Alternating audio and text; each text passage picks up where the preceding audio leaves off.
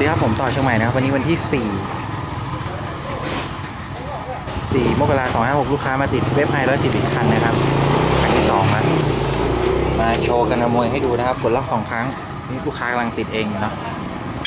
ตึ๊กๆใครโดนรถเรานะครับรถจะไม่ร้อง